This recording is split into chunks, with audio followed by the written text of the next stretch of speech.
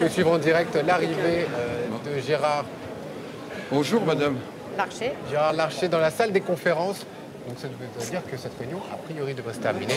Bon, on va Assez essayer de rapidement. suivre. Il y a certainement eu un accord Gérard entre Larcher. l'UMP et les centristes. Moi, je suis Ah, presque il y a des chances, qu'il va oui. y avoir un accord. Oh, on en est presque Je, tous je voudrais sûrs. pas on tuer le en suspense insoutenable, mais je suis presque sûr qu'il y a un accord. Oui, François Parce que Patria. l'argumentation de Philippe Marini, elle s'est posée deux fois. À l'Assemblée nationale, aujourd'hui, la majorité, elle est large. La question ne s'est pas posée de savoir euh, la présidence de la Commission des finances. Revenu. La règle est jouée de la même façon. Ici, il y a trois ans, lorsque nous avons été majoritaires, la question s'est posée dans notre groupe.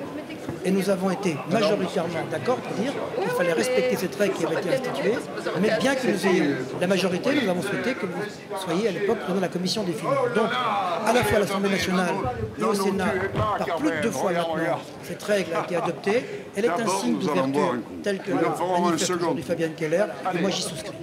Voilà, on voit sur les images donc Gérard Larcher avec Jean-Claude Godin. On voit également les sénateurs centristes revenir dans la salle des conférences. Donc on va pouvoir passer à la deuxième étape